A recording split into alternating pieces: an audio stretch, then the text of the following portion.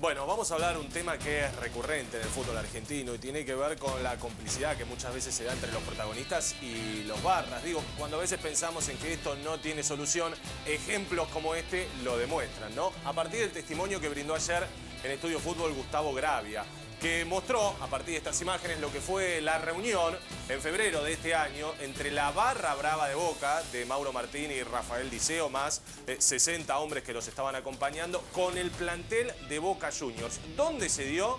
Bueno, específicamente fue en el garage del hotel, donde el equipo estaba concentrado para afrontar un compromiso de Copa Libertadores. Estaba próximo en febrero de este año a arrancar un semestre muy importante para el conjunto Ceneice. Bueno, pero a partir de las fotos donde se ve el ingreso de los barras a ese garage con la complicidad del encargado de seguridad del plantel. Digo, un tema importante y, ya marcando lo que es la unión ¿no? entre estos grupos y, el nexo, en este caso, de la seguridad del plantel de Boca Juniors. Ahí está el hombre de seguridad que de repente a partir de un mensaje se va al garage donde estaban primero algunos barras de Boca Juniors, eh, los, principales, Rafael Diceo, Mauro Martín. Llega el resto de los barras, eh, resto, el resto de los barras y de a poquito va apareciendo en ese sector, reitero, el garage del hotel donde estaba alojado, concentrado el plantel de Boca Juniors, eh, el conjunto Se Hablo de todos los jugadores. Después específicamente se van a quedar los referentes, Orión, Cata Díaz y Fernando Gago. ¿Qué ha contado Gustavo Gravia que le pidió Rafael Diceo y el resto de los barras a los jugadores? Que ganen. Pero no le piden que ganen como hinchas de Boca por los resultados. El tema es que a partir de que gane Boca, ellos recaudan más. ¿Con qué? Bueno, con el tema de las entradas, con los estacionamientos y con todos los negocios que tienen alrededor del fútbol. Imagínense, cuanto más gente acompaña a Boca Juniors porque los resultados son positivos, más negocio para los barras. Eh, ¿Qué más? Bueno, saludar siempre a la tribuna, como si fuese algo único, importantísimo, que no se pudiese evitar. Y después, cuando nosotros observamos, por ejemplo, lo que ocurrió tras el escandaloso partido frente a River, aquel de Copa Libertadores que se suspendió, nos damos cuenta, ¿no? Porque los jugadores saludan sí o sí a la barra de Boca.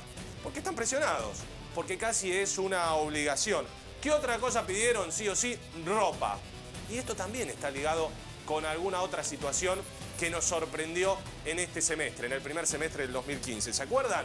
Después del partido con Palestino, que Herbes intercambia eh, la camiseta con un eh, jugador de ese equipo y después este futbolista reconoció que Herbes le pidió la camiseta porque si no se iban a enojar los de la barra. Claro, la barra quiere la ropa y si se la das a tu rival no va para la barra evidentemente todas cuestiones eh, que han sucedido y que no solamente con Boca Juniors, sino con otros clubes del fútbol argentino. ¿Tiene solución?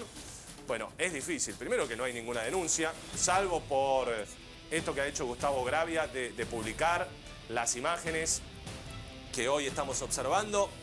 Si esto no se reflejaba en la pantalla, en los medios, nadie se enteraba. Iba a quedar un secreto entre el hombre que estaba encargado de la seguridad, los jugadores y los barras. Ahora, ¿los jugadores son los únicos culpables? No. ¿Qué pueden hacer los futbolistas? Sí, entendemos lógicamente que pueden hacer algún tipo de denuncia, eh, reclamar mayor apoyo de la dirigencia, de la justicia, de la seguridad, pero evidentemente no pasa absolutamente nada.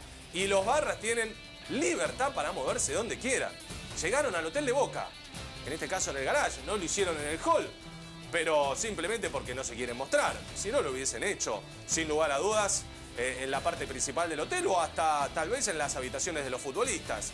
Esto marca el nexo, ¿no? De lo que tanto se habla y que nadie, absolutamente nadie, se hace cargo de la situación. Por suerte ahora hay cámaras por todos lados y evidentemente queda demostrado lo que sucede entre futbolistas, un club y los barras de esa institución. En este caso es Boca Juniors, a partir de los testimonios que vemos, pero tranquilamente creo que lo podemos ampliar a cualquier institución del fútbol argentino. Ahí están los referentes, los que hablábamos, eh, Orión, Cata Díaz y Gago, los últimos en retirarse porque se quedaron un rato más con los barras. Ahí se va, eh, Rafa Diceo, El Canoso y, y Mauro Martín, que con total impunidad dialogaron con los jugadores de Boca. Diálogo, bueno, diálogo no es esto, evidentemente, es otra cosa que sucede seguido en el fútbol argentino.